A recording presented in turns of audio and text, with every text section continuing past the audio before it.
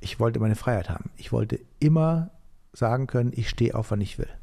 Ich habe drei Festangestellte gehabt und habe in D-Mark fast 20 Millionen Umsatz gemacht.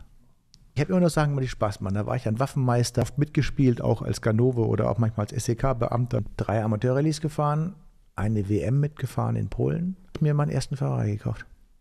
30.